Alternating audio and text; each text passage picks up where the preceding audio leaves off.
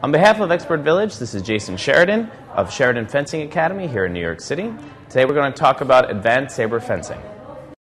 A very helpful kind of footwork that's often used in saber fencing these days, especially in women's saber fencing, is called a slide.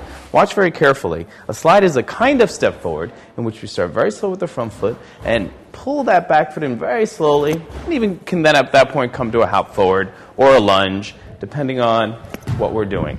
The goal here is to continue the forward movement, but being slow enough and cautious enough to be able to watch your opponent as you do it. Watch carefully. On my right, this fencer will make a slide while the other just makes a very quick attack with advanced lunge. Because she's making the slide, she'll see the attack coming and make it short and take over. And take over. The other alternative could easily be she gets in too close, and Emma, seeing she's coming too close, makes the attack very early off the slide. Go ahead. Very good.